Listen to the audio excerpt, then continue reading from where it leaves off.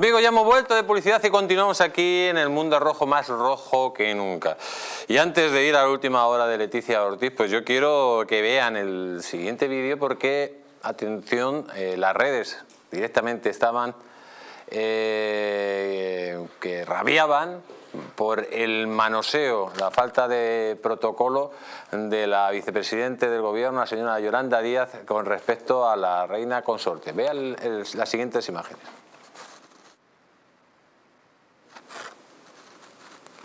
Pues ahí lo tienen amigos como eh, le cogió a la, reina y directamente pues la cogió como Pedro por su casa, como si fuera una amiga de toda la vida, en vez de mantener el protocolo que se tiene que hacer con la Casa Real. Señor Trejo, eh, ¿qué opina de, esta falta de, protocolo, de cumplir, digo, con las normas y sobre todo que se tomen este gobierno tomen esa confianza como si fuera una, una yogi de la pandilla, la, la, la señora Leticia. Yo, lo que lo que realmente pienso es que aunque la aunque la señora Díaz se tome confianza con, con, la reina consorte, la reina consorte tiene que saber estar en su sitio, ¿no? Pero este tipo de faltas de protocolo se deben principalmente a la ausencia del ya ex jefe de la Casa Real, Jaime Alfonsín, y la llegada del nuevo, del nuevo jefe de la Casa Real, ¿no? Es decir, aquí vamos a ver eh, eh, imágenes como la acabamos de ver eh, hace un momentito, las vamos a ver en numerosas ocasiones. Eh, otra pasó el otro día en el, Palacio de, creo que fue en, en, el Palacio de Oriente, cuando estaban en un, en un besamanos y se le cayó una pulsera a la, propia reina consorte y se agachó ella misma a cogerla. ¿no? Te quiero decir que, bueno, eh, parece ser que, que saltarse el protocolo dentro de, de, la, de la Casa Real se está empezando a poner de moda. Yo, de la reina Leticia no voy a comentar, pero sí voy a comentar de la señora Díaz. Yo la he visto en algún acto eh, con Garamendi hace, hace tiempo, cuando empezó su andadura como ministra. Y aquello era, vamos, que si no llegas a saber que uno era de la COE y la otra era la ministra de Trabajo, yo hubiera pensado que, en fin, que se llevaban estupendamente bien y que más que bien. Quiero decir que la señora ministra yo creo que se caracteriza por ser muy cariñosa, muy cariñosa con quien tiene alrededor, al lado, y le da igual que sea el Papa, le da igual que sea la reina, le da igual, bueno, con los de Vox no creo que nos dé muchos abrazos y mucho cariño, pero a mí me da la sensación, me da la sensación de que ella se muestra siempre, pues eso, muy cariñosa, muy de tocar, muy de besar, Imagínese usted que la ve y la da beso en, la boca. Entonces yo, yo, creo que si eh, uno está en ese momento y aunque no tenga mucha relación con ella, pues eh, se muestra así, pues tampoco va a salir corriendo, entiendo yo. Yo he estado en varias ocasiones en alguna delegación y estaba José Luis Rodríguez Zapatero y no se me ha ocurrido darle un abrazo. No, pero si, si, Rodríguez Zapatero te hubiera dado un, abrazo muy efusivo, pues tampoco vas a salir corriendo. A ver, es difícil, es difícil, por eso lo digo. A veces el protocolo, eh, si no lo cumple alguien mm, que le toca eh, cumplir el, protocolo, la persona que está enfrente es, es muy complejo el retirarse. Pues amigos, vamos a contarles lo que todos ustedes estaban esperando, lo que llevamos todo el programa pues hablando, la última noticia de Leticia. ¿Se acuerdan ustedes que hubo dos momentos claves en toda esta gran polémica del libro de Jaime Peñafiel y luego de eh, informaciones que sacó el señor Alvise. La primera de, de todas es cuando Jaime Peñafiel directamente hunde a Leticia con la bomba más cruel, dice su infertilidad y Erika Ortiz. Ahí la tenemos. La segunda fueron las, eh, bueno, los, eh, comentarios que hizo en su canal de Telegram Avise Pérez, que realizaba nuevas revelaciones sobre la polémica que envuelve a la reina Leticia por sus complejas relaciones familiares y amorosas. En ellas, en las revelaciones que hizo el analista, dijo directamente que tenía audios del, ginecólogo de la reina que confirmaba lo que había dicho en su momento el, el, señor Peñafiel. Pues ¿qué había dicho el señor Peñafiel? Pues que doña Leticia no podía haber tenido hijos porque había tenido dos abortos, uno con el, periodista David Tejera, otro con un editor mexicano y luego además tuvo una eh, ligadura de trompas y que la gestación la tuvo que hacer pues con una donante y en ese caso la donante sería la, eh, su propia hermana la desgraciadamente eh, muerta Telma Ortiz. Esto es lo que dijo el señor Peñafiel y lo ratificó el señor Avise Pérez y ha salido publicado. De hecho, estas declaraciones, amigos, le supuso al señor Peñafiel salir del mundo. Pero ahora la información que ha llegado a esta redacción es la siguiente. Confesó la señora Ortiz, doña Leticia, a Felipe VI que tenía serios problemas para concebir herederos o serios o que era prácticamente imposible. Cuando se casan doña Leticia Ortiz y el príncipe Felipe de Borbón, el príncipe Felipe era consciente de que esta señora tenía problemas para concebir herederos. Esto es lo que nos ha llegado hoy al programa.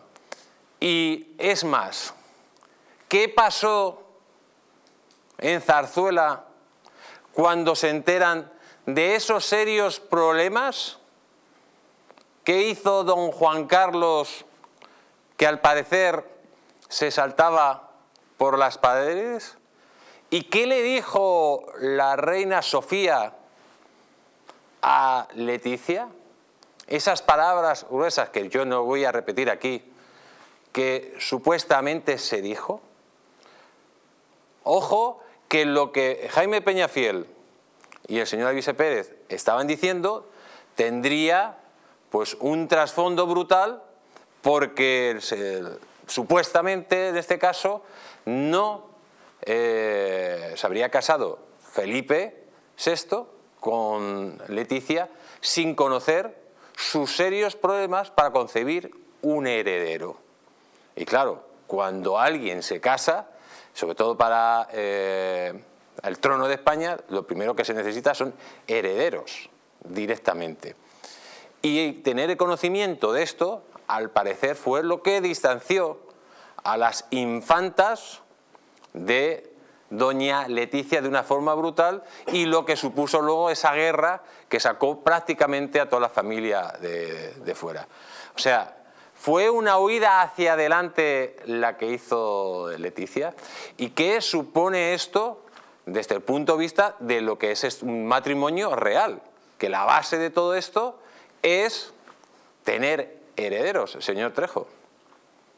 Eh, la verdad... Eh, yo no, yo no estuve, yo no estuve ni en la boda del príncipe ni en, el momento en el que hubo esas palabras huesas. Si cierto es lo que dicen estos dos señores, pues el matrimonio nace fallido, ¿no? Porque eh, nace ante una falta de, confianza de uno en el otro y más cuando realmente quien se va a casar o quien se casa con Su Alteza Real el Príncipe de Asturias sabe que una de sus primeras, principales obligaciones, si no la principal, es dar un heredero, al trono. Pero claro, es que yo, yo no puedo, eh, lo, que nos acaba de comentar usted, pues, pues, muy bien, lo dicen estos dos señores, ellos tendrán eh, documentación que lo pueda que lo pueda confirmar, porque yo soy incapaz de, opinar sobre, sobre este tipo de temas. Es más, dudo hasta de que existan esos audios del, ginecólogo. ¿no? No, creo que un ginecólogo ah, vaya a vaya a radiar a lo que lo que ha hecho con, con la, con la señora Ortiz Rocasolano eh, para, para poder concebir un heredero o, heredera, ¿no? En, este caso, claro, o sea, em, hablan de dos abortos que uno sería con David eh, Tejera, otro con un editor mexicano. Hay algunas informaciones incluso que hablan de un tercero y de una ligadura de, trompas eh, que luego no pudo revertirse.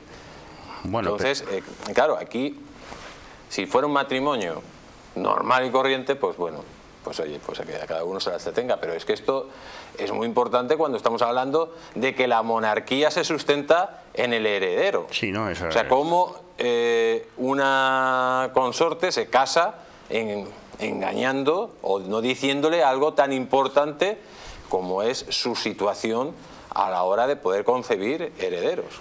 yo, y yo creo que ahí también hubo, si, si eso es cierto, ahí también hubo alguien que no hizo sus deberes igual que cuando, cuando se estuvo, cuando se estuvo bueno, pues debatiendo, y eso lo, de, lo debatió el gobierno de José María Aznar, el título que le daban a esta señora, si le hacían gran duquesa o gran marquesa o le daban un título nobiliario o era reina consorte. Pues lo mismo que en aquel momento optaron y las cortes optaron por, por darle el título de reina consorte, también deberían de haber, de haber investigado este tipo de cosas. Yo creo que el Estado tiene, tiene ese tipo de armas, pero claro, es que estamos dentro de, un mundo eh, tenebroso y pantanoso, porque estamos en base a, elucubraciones. Porque si ahora mismo estos señores me sacan ahí un informe en el que me dicen A, B y C, probablemente podríamos entrar a opinar. Pero es que con unas meras opiniones de ellos, entiendo que deben de estar sustentadas en, en documentación, pero, pero yo me veo incapaz de opinar. Y pues, me veo incapaz de opinar porque en ocasiones los abortos se dan en las, en, las mujeres de forma natural, no es necesario que lo provoquen. Entonces, bueno, pues eh, eh, para aquellos que, que, lo han sufrido... Pero que se hubiera ocultado eh, ese problema, esa dificultad... Hombre, si, si, si realmente eso es importante o no. Si realmente eso, eso es así, claro que no, no es que sea importante, es importantísimo que al final eh, quien se casa con el heredero al trono de una monarquía sabe de sobra que va a concebir hijos. Si es una señora va a dar a luz a hijo y si es un señor tiene que proporcionar la, tiene que, proporcionar la continuidad de, la reina. O sea, que, te quiero decir que, que sería grave. Si, si eso ha sido así, sería grave. Eh, doña Ana, sería muy grave el que se hubiera ocultado esa posible información. Eh, sería grave. La cuestión es si realmente eso pasó así. Eh, a mí me cuesta entenderlo, eh, sobre todo porque anteriores novias del príncipe, por cosas muchísimo menores, pues no, pasaron el, el, filtro y efectivamente el Estado y la institución se defiende a sí misma porque su objetivo es mantener y pasar, mantener la institución. Eh, por otra parte, eh, tener abortos, cualquier mujer lo sabe que no, no es eh, relevante para luego no quedarse embarazada. Mi propia abuela, antes de tener a mi madre, pues tuvo dos abortos previos. O sea, no, no, pero naturales. Sí, bueno, pero es que no lo sabemos tampoco. Entonces, no es significativo y que una persona joven decida ligarse las, las trombas también me resulta chocante porque sobre todo cuando tienes o no sabes lo en, bueno eso, es la información, eso es la información que dicen estos claro, dos claro, pero eh, yo, yo, es que lo, pongo... aquí la noticia es digamos la información que ha llegado aquí no es ni que si vinieron óvulos de, de, terceras personas, ni que estaba la Liga de la Trompa, no. Aquí lo que se dice es que esa información previa al matrimonio no se dijo. Pero no lo sabemos, porque no deja de ser una conversación entre dos personas. Saber si era estéril o no es según Peñafiel y el señor Albise. Eh, dos personas en las cuales pues ahora mismo mi credibilidad sobre ellos pues tampoco la tengo. Por Entonces, cierto, el otro día le mandó a usted un mensaje, señor Albise, diciendo que ha, ganado un juicio al señor Ábalos. Sí, sí, bueno, pero tiene otros dos pendientes. Entonces, eh, no, eh, a mí pues me gusta que hagan un, un, trabajo periodístico contrastando fuentes y contrastar estas fuentes directamente con cosas reales me resulta muy difícil tratándose de temas muy personales. Entonces, que creo que ya de por sí acabarán en un círculo muy pequeño cuando mm, lo mismo solo es entre dos personas, lo normal en una pareja. Bueno, yo solamente quiero hacer una puntualización. En caso de no haber tenido descendencia, la línea sucesoria hubiera pasado a la, a la infanta Elena. O sea, que yo creo que eh, eso para ser riguroso, o sea, el hecho de que los reyes tengan o no descendencia, aquí en otras monarquías no quiere decir que haya acabado la línea sucesoria, ni mucho menos, ni, ni la familia. No, pero real nadie está diciendo eso. Hubiera tenido que Otra cambiarse la Constitución, por ejemplo.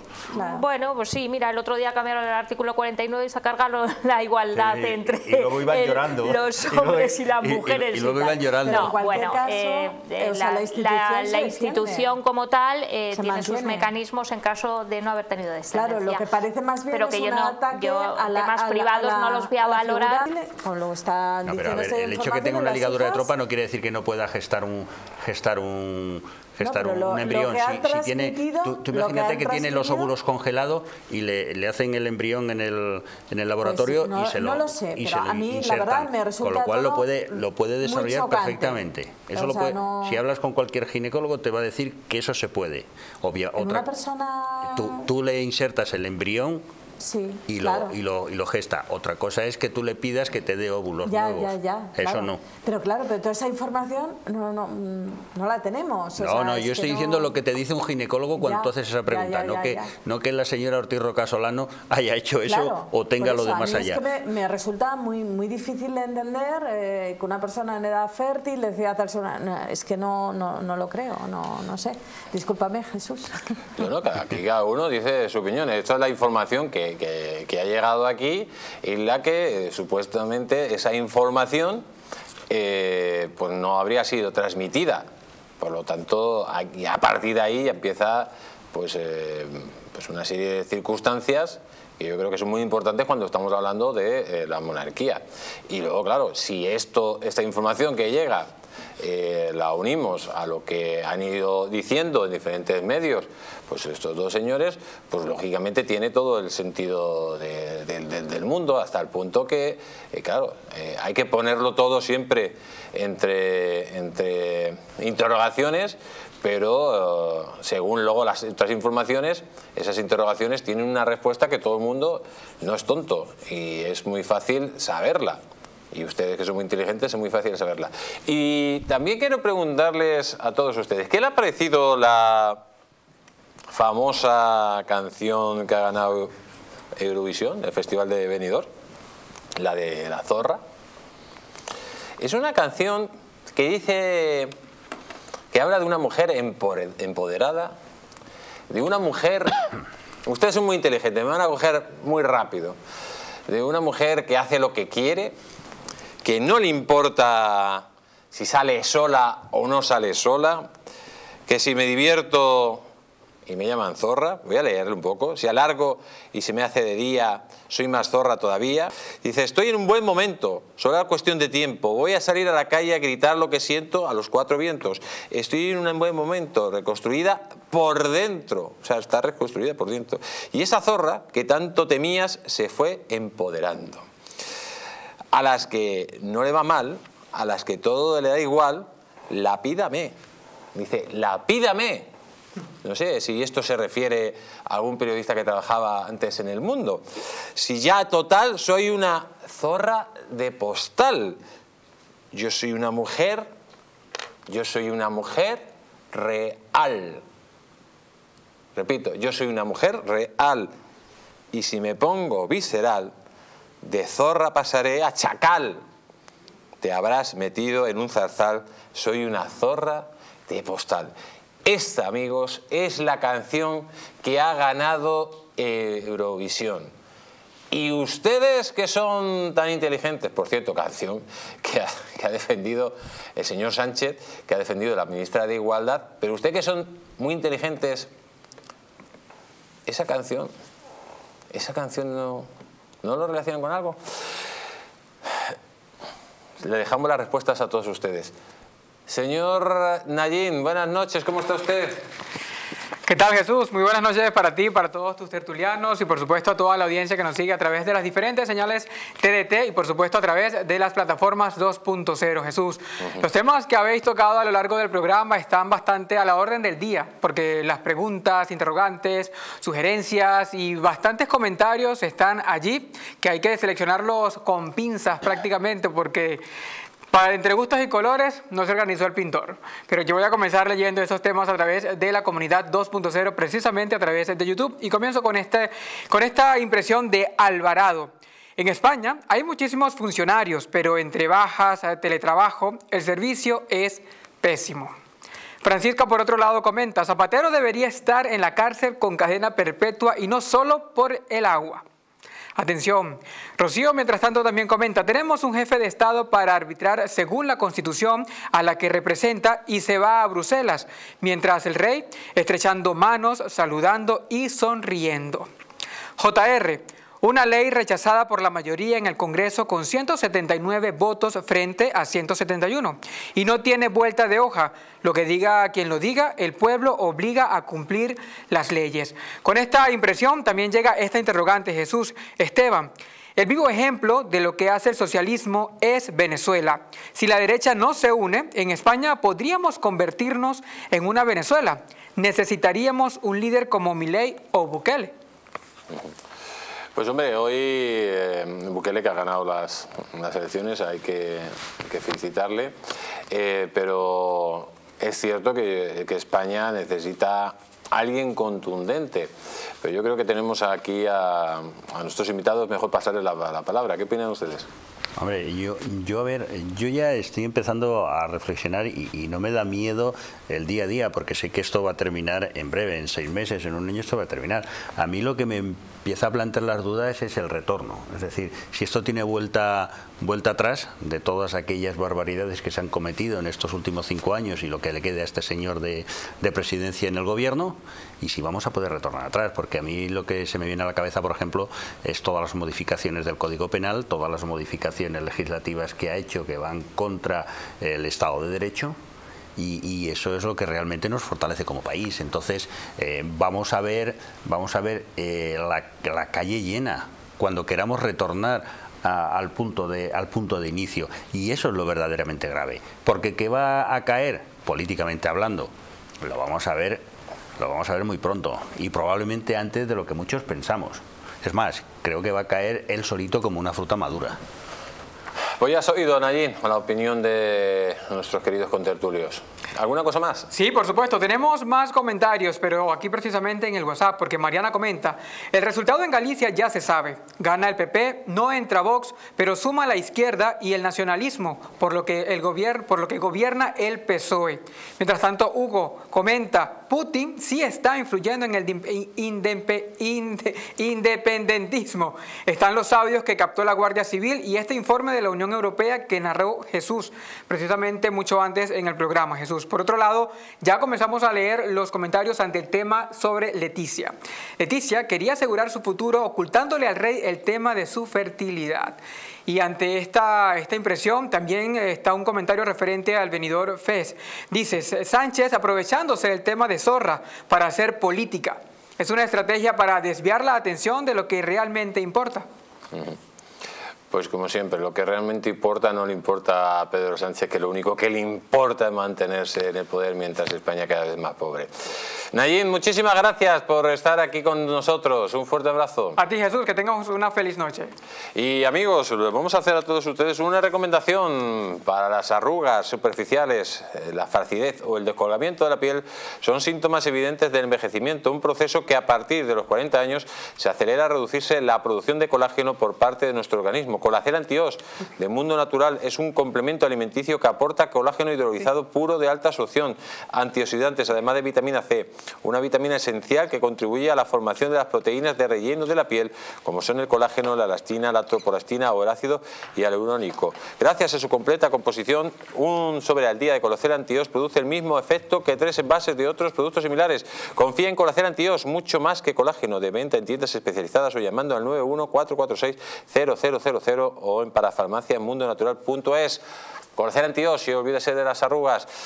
Y amigos, se nos acabó el tiempo. Eh, señora eh, Ruiz. Muy rápida pasa por Muy rápido. Muy rápido. Así que hasta otro día. Hasta otro día. Sí. Bueno, nos veremos pronto entonces. Por supuesto. Señora Arancha Cabello. Pues nada, un placer eh, haber estado aquí esta noche y es verdad que se ha pasado el tiempo en un pispás. Volado, ¿no? Volando. Señor Trejo. Pues, pues eh, yo me uno, me uno a lo de las compañeras, ¿no? Es decir, ahora cuando estábamos entrando en calor, ya se, se ha terminado, De se ha todas terminado formas, el debate. si ¿no? yo lo metiera toda la escaleta que yo No, no, sí, programa, sí, ya, ya, la, ya la veo, ya la veo. que ahí, hacer ya. cinco horas de Ya programa. Ya, ya lo porque- veo ahí. Ya Lo que pasa es que nos ha hecho de menos porque estaba antes solo y ya hemos entrado Claro. Arancha y yo y se ha hecho ese, más corto. ese dúo de damas, amigos, que, que le ha hecho revivir después, después de la primera parte a nuestro querido Fran Trejo. Pues eh, se nos acabó ya el tiempo. Eh, amigos, sean ustedes felices, que Dios les bendiga, que Dios bendiga a la Madre Patria. Y recuerden que a veces contar la verdad, cuando uno cuenta la verdad, corre un serio peligro. Nos vemos mañana con más noticias y mejores.